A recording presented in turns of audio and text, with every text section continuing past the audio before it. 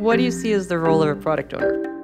I think even in a small team, you have a person who is the product owner. It just might also be a developer. The lack of a decision is a decision. I think the anti pattern that people have is that they think process is a bad word, but no process is worse than the minimum amount of process.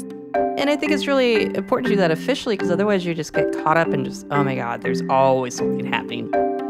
Hi, I'm Paul Biggar, founder of Circle CI, I'm Edith Harbaugh, CEO and co founder at LaunchDarkly. and you're listening to To Be Continuous, a podcast about continuous delivery and software development. You can get in touch with us anytime at our Twitter handle at ContinuousCast. The show is brought to you by HeavyBit. To learn more, visit heavybit.com. And while you're there, check out their library, home to great educational talks from other developer company founders and industry leaders. I think there's still kind of this cult of the lone wolf, mm-hmm. like banging out code in a corner that I think is very mm-hmm. harmful. And organizations often optimize for that, especially ones that, again, not naming names here, but like I can think of organizations that, that deliberately hire solo engineers. And as a result, there's no appetite for team. You know, everyone's just sort of working on their own. Yeah, and I, I've seen that really blow up mm-hmm. because it's like you're not really producing anything bigger than one person. Mm-hmm. If your unit is basically how hard can one person work, mm-hmm. You're not going to produce anything bigger. So this is sort of the the model that I see in open source a lot. Organizations make room for lots of individuals, but there's nothing that's like team related. So very often, you know, there, there won't be roadmaps. There's the you you saw GitHub talk about this, and it's like you know the uh, c- code talks and something else. Code, walks code and- talks, bullshit walks. there, yes, s- s- something along those lines. It's like the idea that, that that the right way to approach a project is to come with code written, and then we'll have a conversation, rather than like a you know have a direction and a roadmap and a and a list of things that we want people to fix. And But that's so wasteful if you just think about it. Like Yeah, if you that- just think about point. it from manufacturing terms, mm-hmm. like if you just think about it in terms of you're trying to optimize for reduction of inventory. Mm-hmm. yeah, Code is inventory. Well, so if you've had 10 people go out and write a thousand lines of code, you don't Yeah. have 10,000 lines of code. well, the, I You think there's probably a- have 100 lines of working code.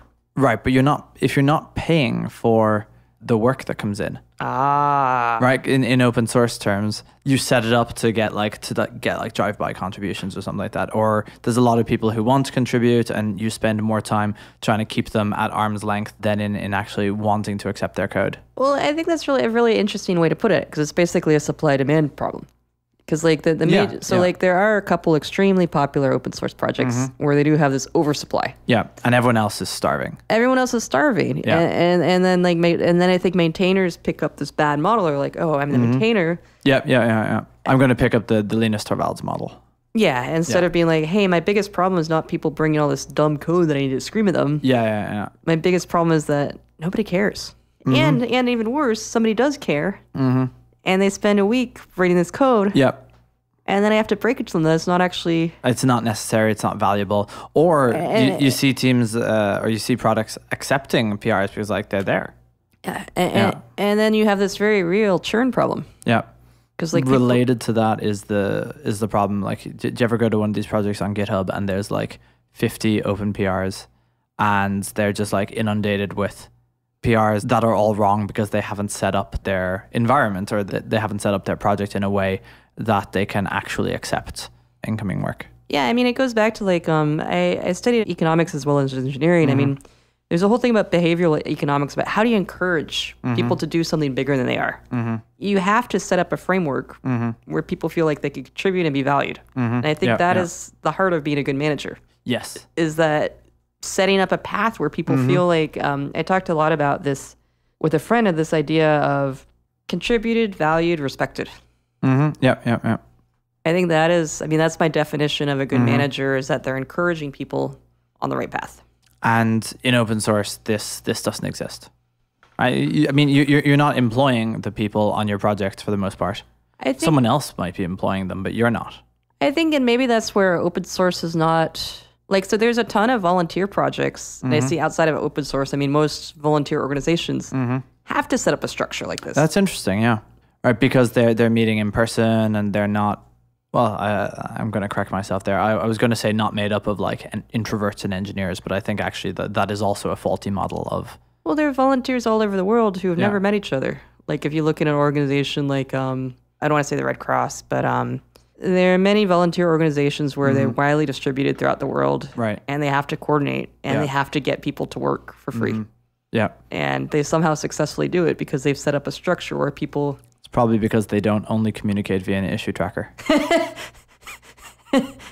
Every now and then, you make me laugh. it's it's it's a crazy idea. It is how open source projects do it, and it's often how companies that model themselves after. So so like Mozilla is a good example here. Mozilla does everything in Bugzilla. That is becoming less true, but certainly when I was there, if you wanted to like I don't know get an air conditioning vent fixed, you you do. filed an issue in Bugzilla. So I think my theory about waiting until you've already built something to give Mm-hmm. feedback is exactly the wrong time to give it Yeah, because this person has worked on it yeah, yeah, and they have this endowment effect yeah. And they, they take it very personally. Oh, oh, of course. I mean, they, they, they wrote this code, and, and often they had this idea, and you're telling them that, that one or both are bad. And they probably worked on their own time and they Yeah. were really proud and happy and ready to get the little pat on the head and show it off. Yeah. Instead, you're just like slapping it out of their hands and being like, this is stupid. Mm. Literally. Yeah. This was my major failure mode at Circle. So we, we, we believed in flat and we didn't believe in product managers and, and so on. And we, we didn't particularly like meetings. And that sort of uh, culture was, was you know from the founders and, and, and also from the, you know, the, the the early employees that we, you know, we hired people who were sort of on the same page. And as a result, we didn't have a we didn't have a shared direction. If we didn't have a shared direction, everyone is like figuring out on their own what, what to build. The result is when am I uh, as as the CEO able to exert direct uh, influence on on the outcomes? It's after the pull request is made. Oh, which is the worst time. was, it was I mean it was so bad and people got so pissed off and they were and they were right to get pissed off as well. So like we we, we set up this environment where people would build things and then they would show up at the end like ta-da and, And then, I'd be and- like no that's wrong. and you know what they were waiting for, Paul? What were they waiting for? They were waiting for the CEO Mm-hmm. to say, oh, this is awesome. Thank you so much for contributing. We're happy you're here. Right. And instead, Yeah. What and instead I'm like oh this isn't the right direction. Yeah, I, I know, I know, I know. I'm feel I'm feeling shame as as you stare at me as as I should be feeling shame. well, you know, literally, this is their moment to shine. I know, I know. Yeah, yeah, yeah. No, this was major early problem that that we had. That because we believed so strongly in in flat, even though we had no definition of, of what that meant, that we wouldn't even like set ourselves roadmaps or sprints or we wouldn't even talk about what we are going to do. It's just like everyone everyone figures it out for themselves. But it wasn't. Don't, don't do this. But it wasn't mm-hmm. flat because at the end of the day, At the end of the day, yeah, exactly. it was like flatland, but with a point. Yeah, yeah, exactly. And oh, there's poor people. Yeah, I, I know, I know. And ironically, so people had this complaint, but the method that they wanted to change it to was like where I don't do that, which kind of which kind of makes sense. But- Um, but but it wasn't addressing the other problems of like, well, we kind of need a project in the in the same direction. People didn't want more meetings. They didn't want more management. They didn't want more process. All these these were like dirty words. But you had a process. Well, we had a process and it was terrible, and we needed to change to a different process. But that seemed like more, So people and they always- wanted less. like so that you had a process, and it was Yes. people squandered Yes, yes. Pe- I- I- weeks I- of their times, Yep, yep. if not months, Yep, and had their feelings hurt. yep. That that is exactly right. So that is the process. that was the process we had. Yeah, Yeah, like no, I know. Yeah, I know. The the feeling you have is the feeling that that was had. of the just the oh, just the waste. Yeah, yeah, yeah. The the the waste, the hurt feelings, the the the anger, the uh, uh, it's uh. Yeah, So terrible. so so how did you how did you become not that person? Well, let me just clarify. I don't think it's about being that kind of person. It's that we set up that kind of process. There's this term called psychological safety, Mm-hmm. where it's that you feel safe making mistakes. Mm-hmm. So I, I try really hard to encourage that at, at my own company of like um like it's okay to make mistakes as long as like we iterate quickly and move. And I want to create that attitude. And that's why we have stuff like here's our roadmap. We have our weekly goals. We have our so we try to have enough meetings. Yeah, yeah, yeah. No, for sure. Like the no meetings is a, is an anti pattern. Yeah. Uh, and when when so me and Ellen when we when we started the new company, we had weekly two person meetings, even though we talked all the time. Yeah. Like the and we you know here's what we are going to do this week. Here are the things we are looking to accomplish. Here's the the ideas that we're going to validate and our rough plan of attack for it. And I think it's really important to do that officially because otherwise you just get caught up in just oh my god, there's always something happening. There, there, there always is, yeah. And then and then the next week you could say like, okay, we want to do this, we didn't do this, why not? Mm-hmm. And a lot of times it's like, well, this other thing happened, that's fine. Yeah. Yeah, ex- exactly. yeah. But like, let's acknowledge that. Right. And the I think the anti pattern that that people have is that they think process is a bad word when in fact You always have a was- process. well yes, but no process is worse than like the minimum amount of process that that Well, there's always my, my thing is there's always a process you're following. Mhm, Sure, sure, true. So So your process was people built stuff and presented to you, and you and you rejected or blessed. Mm-hmm. Yeah, but I, I, I think people think of process as like a, you know, you, you, you set up a process and, and, and they, it's almost a, a sunk cost fallacy sort of thing that, that like when you look at something that you didn't build, that, that, that just sort of happened, that's, that's not really process. But like when you look at, you know, we, we have a list of things that we are going to do and we're going to do them in a meeting on Monday at, at 9 a.m., then that's like, then that's process. And I think that, that, that there isn't a great realization that having no process, and as, as you say, there is real process in, in, in no process, but that is the worst possible process. Yeah, I mean, because I saw it so often because it would be like what I saw was the lack of a decision is a decision. Mm-hmm. So here's a real world example from about 10 years ago. It's like, should we keep working on fix packs for old customers or new features for new customers? Nobody made a decision. When what happened was all the individual developers, Mhm, Made decisions. And what did they work on? uh, they worked on all these new shiny features, which were not actually new shiny features that the business wanted. And we didn't fix the bugs the customers wanted hmm Wonderful. because all these developers had these great intentions. Yeah, yeah. and it was like the worst of all decisions because we didn't fix the bugs, we didn't build the right features, and we end up with all this other random stuff. there is this idea of, of the sort of the hero developer right the the hero developer sees that that this thing can be done in better ways comes up with the idea themselves and, and then it is much beloved by the organization the customers are in love with it and y there are like four or five like skunkworks project stories at like google or facebook or- Gmail, or, Gmail is the classic one. yeah, Gmail, great, great example. There's a couple of Apple stories like it that that are just like this. This thing was amazing if they just like you know kept it down and snuck it in, and everyone else is copying this, and that's and it's terrible in the general case. I think there's always going to be this wild flash in the pans that are going to happen. A lot of times, what happens, and I saw this over and over and over again, is you build stuff that nobody wants, Mm-hmm. which is the worst case. Yep. And I've seen so much, I call it just wasted because you build stuff nobody wants. Yep. Yep. Or what's better is you build stuff that somebody wants Mm-hmm. and nobody knows about it. I did this fallacy. Um, I, I, I'll say something I said when I was younger, which is, "This is a great product. We don't need marketing." Oh.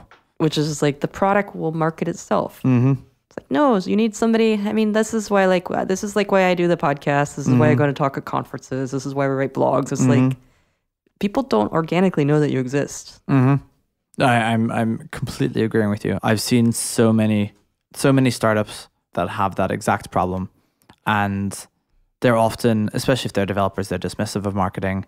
They don't know the difference between marketing and sales, and they're dismissive of all of it. Well, I mean, I, I I've seen it over and over and over again. Of like, well, we'll just focus on building the product. Mm-hmm. I'm like, well, how will people know that you exist? There's a pattern of people who they see successful products and they don't see the marketing that was behind the successful products because they were so good at the marketing. Yeah. So I think a lot of people in, in developer tools model themselves after either Stripe or GitHub. And both of those are terrible examples to model themselves out of because one, they were so successful that any flaw they had, they could just overcome by the strength of uh, their product market fit, or, or in GitHub's case, the, the virality of it. And people look, uh, the, we were talking about flatness earlier. People, you know, took flatness direct from GitHub and Stripe. Um, I know we did, and they didn't work for them, Well, and they didn't work for anyone else either. But those companies survived or did well because they were so successful anyway. There's a company called Valve, Yep. which is Oh my god, the original. which is held up as like the we don't need managers. Everybody just wheels their chairs. Yeah, yeah, yeah, yeah. They never managed to ship. They never managed to ship. Oh, Half Life Three. Yeah. Yeah, yeah, yeah. Doesn't matter. They're they're making money hand over fist on on Steam. Yeah, and and that's the thing. If you're making money hand over fist, it doesn't matter. You can delay your flagship product for ten years. I, I think there's been four or five different attempts to build Half Life Three that have all failed. Yeah. Doesn't matter if the money's coming in. Well, it's like Google. They had this one core mm-hmm. thing that they could do all these moonshots. Yeah. You should really take Darian's class. I should take Deering's class. It's on my it's on my to do list. What will I learn in Deering's class? Well, so has another book about orbiting the giant hairball, Okay. Which is that you have to have some core engine, which is basically the hairball, which gets stuff done. Mm-hmm. And then you also have to have creativity, which is kind of orbiting it. Okay. But you do need to have both. You can't just have these people out orbiting in outer space. hmm Is that the the hero engineers in our in our analogy? Oh, I do think engineers are heroes. I just think um, No, but I mean the specific ones of like who, who well who who think they're heroes or who are planning for the the grand heroic gesture or grand heroic pull request maybe. yeah, the, the thing that will save the entire company. Yeah, yeah, exactly. I noticed at Circle, and I think I think this this generalizes that the thing that you're good at, your company does not become good at because you can do it, right? And so in in our case, it was it was content marketing that like I was I was pretty good at content marketing, and so we we never built uh, while I was in charge, we never built a content marketing team. In fact, any real marketing team because like oh you know Paul, Paul will just whip out a post. something like that yeah and that was really just not like and mostly because i never actually gave myself time to to write them because i was doing everything else Yeah, it's, it's funny. I, I so I ran into you know Des. yeah yeah yeah, yeah. I I'd known who he was, and it was weird because I finally met him in person. Mm-hmm.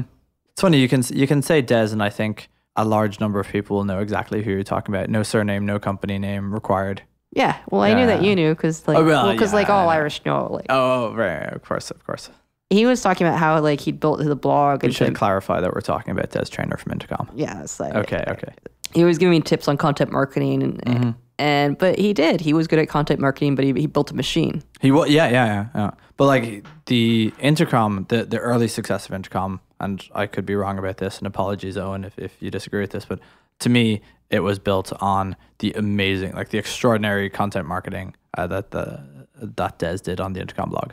I think all companies have one, hopefully two, and maybe three things they're really good at, mm-hmm. and you just gotta really double down on those. Yeah, yeah. And and that's what he did really well that I think most companies don't do really well. They see the skills of their founders not as things that need to be taken away from the founders, but things that need to be kept with the founders. Yeah, and that's that's what I'm trying to do. Like, um, we hired a dev evangelist because I was like, I can't, I can't keep giving talks. It Mm-hmm. Yeah, just the, the the the travel was killing me. And I'll bet, and you, you probably shouldn't answer this, but like I'll bet that the dev evangelist is not as good as it as you are. Because you've been doing it for years and, and like they will take time to get to the level of success that you get out of it. Well, the joke is that I was a terrible speaker when I started. Right, but you've been doing it for years now. I like literally remember that the reason why I started doing the podcast with you was that I wasn't very good at talks, and it was easier when I, I felt like I was just talking to a friend. Mm. Like so, it was like it was much easier for me to get in a room and just talk than to get up on a stage. Yeah. Because I was just like I remember oh, was awful. Mm-hmm. I remember when we went to Web Summit, I, I went into the bathroom and I, I was just felt like I was going to be physically ill. You were great at Web Summit. Or is it the one we went to or a different one? The one we went to. No, no, you were great. Well, that's because like I looked at you, I looked at Matt. I'm just like I'm hanging out with my friends. This yeah, is yeah, okay. yeah. But it was bad. Oh, wow. Yeah, d- didn't even notice you, you, you hid that well. I used to literally hide in the bathroom. Mm. Wow. And so I, I, the joke is that people think I'm a good speaker, but I was like, no, I was very bad. But you got good. Yeah. Oh. There's a lot of things, mostly related to marketing, where the founder has a natural talent at it. Because you're the founder, people give you the benefit of the doubt on it because like there's there's an authentic voice. And so the, the, there's the authenticity of the founder selling, the authenticity of the founder, you know, going on stage and talking about it. And, and you lose a bunch of that when you start to try to outsource it to someone else on your team. But there's no alternative. Yeah. You, other- ca- you, can't, keep doing no, it. I yeah. was just like, because literally I was like, I cannot keep doing this. yeah. It's funny. So that's what I, I, I hate to name drop him. I met him once, but like that's what does. Yeah, yeah, uh, Does, does like he used to go to every conference. Now he's just like I can't. yeah, yeah, yeah. Looking at how they, uh, I think they have a book about this, but like how they built that team up. Yeah. Uh, the do you know that the the editor of The Irish Times. of the Irish Times became the editor of like the Intercom content marketing team. Yeah. That's that's the kind of like bold step they did, or sort of innovative step they did to like to make their their content uh, as good as it is. so I also the same conference. Uh, I talked to Nicholas from Algolia. Oh yeah, yeah, yeah. Such a nice guy. Oh, was this at the the Heavy Bit uh, content marketing conference? No, this was at Web Summit. Oh, this is Web Summit. Okay. But I mean, I, I knew him from I met him a couple times in the states. So Yeah, I- yeah, yeah, yeah. he was talking about how he gave speech training to all, all their engineers. So that they can give talks. Yep. Yeah, that that that's a great idea. Yeah, because I was talking about how I, I feel like I've always encouraged people to give talks, Yeah. and they never want to do them. I, I, I see this at the at the current marketing team at, at, at Circle, which is excellent. And one of the realizations and the, the phrase our, our VP of marketing uses is is by developers for developers. And the marketing team is not developers. I mean, it has some developers on it who, who code, but for the most part, it's, it's experienced marketers. And what they know is that that the authentic voice is something that can't come directly from the marketer as it might in another vertical. And so they have to pull content out of uh, out of engineers. They have to have engineers go give talks. And so the, the, the marketing team is are not people necessarily who market, but they become people who sort of coordinate, at least on the content side. Yeah. Oh my gosh, when I started the company, I spoke once to like two people, mm-hmm. and I was happy two people came because it was far less humiliating than no one. Yeah, yeah, zero would be uh But I think our developers they they go give these talks and they're like, "This is awful." yeah. Like once when somebody whenever somebody went to meet up and nobody came, Oh no. and they get really shy and they don't want to do it again. I'm just like, no. I went to this talk years ago. I, I was I was speaking at it. It was the the Stack Overflow did a conference once in like 2009, and people reviewed every speaker who who spoke at at Stack Overflow, and they, they did in like 16 cities or something like that. So you you, you could see it happening. It's like the the LA thing was talking. There was reviews, and then some people were like panned. So I, I- talked at the London one, and there was there was two speakers who wrote public apologies on their blogs afterwards because the reviews were so like critical. Oh no. Could you imagine? Were were they really that bad, or were just people very critical? They weren't great, but like you know, bad talks happen. Bad You're, happen. you're- not a bad person if, if you had a bad talk, you misjudged the audience, the the audio was bad. I don't know what, what causes people to, to have bad talks. I had this bad talk. I was um. Uh, Softtech wanted me to speak at their their summit. I hear they're not soft tech anymore. They're uncorked now. Thanks for asking. And I was very proud. So Annie, my VC, uh, our investor, said, mm-hmm. "I want you to talk about your running." I said, mm-hmm. "Great. I have this talk I gave in Oslo." Mm-hmm. And he got the slides. He's like, "Are you sure you could do this in five minutes?" Well, no. And, and uh, he's like, "All you have is ten minutes." I'm like, "Well, I did it before when the slides auto advanced because I given his lightning talk. That'll be fine." Oh, uh, and they did an auto advance, and you kept talking. The worst, they auto advanced, Oh, they did auto advance. and I'm like, "You gotta be in a mood." Oh, interesting. They auto advanced at a speed of five minutes. Yeah. The talk was supposed to be ten minutes. Oh, interesting. You had set them to auto advance. But I thought they would clean it out because they put this into the master deck. Uh, So I reviewed them with the, the lady before on stage. Everything great. yeah. I got up on stage and the slides are moving at double speed. Uh, and you don't have a control? I have a control and I keep hitting it, Yeah. and I'm like, the slides are moving. and and um and it was one of those awful things where they'd put it into this huge master deck. And, Oh no. Do you know what I mean? So I'm like, Yeah, yeah. You, you you can't go back and change it. Yeah, for all for all the hassle of like swapping out laptops, at least you know what you're getting. And uh, so I said, like, look, just please stop it. I'll just talk. Mm-hmm. Because like Good plan. I'm like, this is far less stressful than me trying to talk double speed. Mm-hmm. Fuck it, we'll do it live. Yeah, so I did it live. and, Like it was not the greatest talk I'd ever give, but oh my gosh. So do you give talks now for dark or are you still keeping it dark? Uh, still keeping it dark. We, we we we haven't decided on the name, and until we get a name, which which I think we're rushing for because it is hard to it is hard to hire people when your your company name is Ellen and Paul's new startup.com. Why, why is that so?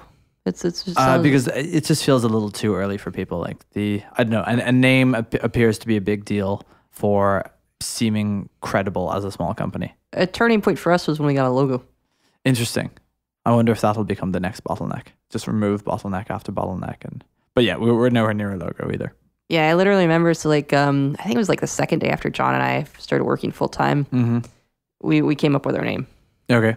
because like we need to tell people where we work. Yeah, yeah, yeah, yeah. we we had a plan of uh, buying dark.ly and then setting up a launch page on it at launch.dark.ly. Yeah, you, you told me about this and I was not pleased. Yeah, unfortunately, uh, dark.ly is fifteen hundred dollars. That's Uh, it's it's not that much, but it's a lot to prank you. I, I, I'm honored that this would crossed your mind that? Yeah, yeah, yeah. For, for thirty dollars, I'd have pranked you, but for fifteen hundred dollars, I don't think it's worth it. So what's the break point? Is it like around? Is it once you get into triple digits? I think so. Yeah, yeah. I I, th- I think maybe eighty dollars. I'd be like, yeah, this is funny. Yeah, it's it's it's funny. I think I think this might be worth about hundred dollars. Yeah. Yeah. Well, Yeah. well, I mean, once you've you know minted your millions on your new thing, Exactly. Exactly. Yeah. Yeah. Uh, that'll that'll just be something you'll dash off to your to your admin. yeah. Yeah. Purchase dark. Mock Edith. we could just have a have a standing task every month. have, have we mocked Edith this month? Not I, yet. I have a friend. I I won't say his name, but um, he was in in accelerator, Mhm. and his company got acquired two years ago. Mhm. I'm sure with just that information, we could figure out who it is. Mm, I fudged the date a little, Okay. but I found this out because I was visiting a customer, and I saw him walking down the stairs, and uh, the the customer's like, "Oh yeah, we just acquired you know so and so's company." I was just like, "Oh," and I texted him. I'm like, "So you got acquired?" He's like, "Yeah, but we're keeping it secret, but I'm gonna have a party soon." Okay. I'm like, great. And then like I saw him two months later. I'm like, what about the party? He's like, I'll have it next month. So every month, I text him Mm-hmm. and I say, when is the party gonna be? Because he still hasn't had his acquisition party. Or he had the party and he didn't invite you. Oh. I'm sure that's not true. So it's funny. So in February of this year, he said he would do it by end of year. Mm-hmm. So now I'm at February. the, and now I'm at the point where like every month I'm like, hey dude, yeah, yeah.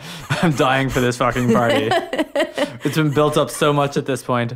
oh, I'm like I'm like basically like I will have IPO'd before you have your party. Uh, So we got some really exciting guests coming up. oh, who, do we have? Should we tease them? Sure, sure. Let, let's do this. Um, so it's both of their birthdays that day. Who is it? somebody who is going to say a lot of interesting things. Can we give him a first name? Armin, And there's another person, right? Glenn, Okay. Armin and Glenn, whoever they are. and their birthday is the day they're coming in. And so you will hear this three months after that. Thanks for listening to this episode of To Be Continuous, brought to you by HeavyBit and hosted by me, Paul Biggar of Circle CI, and Edith Harbaugh of Launch Darkly. To learn more about HeavyBit, visit heavybit.com. While you're there, check out their library, home to great educational talks from other developer company founders and industry leaders. Thank you.